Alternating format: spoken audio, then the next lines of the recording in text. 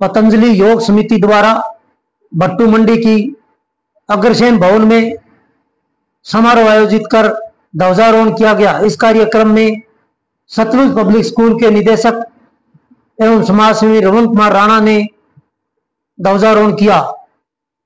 इस दौरान उन्होंने कहा कि स्वतंत्रता दिवस भारत के हर नागरिक के लिए गर्व और सम्मान का दिन है।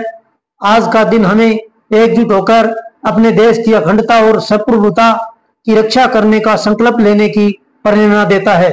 स्वतंत्रता का अर्थ केवल शारीरिक गुलामी से मुक्ति नहीं, बल्कि हमारे विचारों, भावनाओं और अच्छे कर्मों की स्वतंत्रता भी 15 अगस्त ही वह दिन है जब देश की, देश को अंग्रेज़ों की 200 साल की गुलामी की बेड़ियों से मुक्ति मिली थी। उन्होंने कहा कि हमें देश की आज़ादी करवाने में महात्मा गांधी, सुभाष चंद्र बोस, भगत सिंह, मंगल पांडे, राजगुरु सुखदेव, जवाहरलाल नेहरू, लाला लाजपत राय, बाल गंगाधर तिलक जैसे लाखों क्रांतिकारी और स्वतंत्रता सेनानियों का अहम योगदान रहा है। हमें उन्हें याद करते रहना चाहिए। समारोह के विशिष्ट अतिथि दिनेश कुमार मात्रा, मदन गोपाल आर्य ने भी संबोधित किया।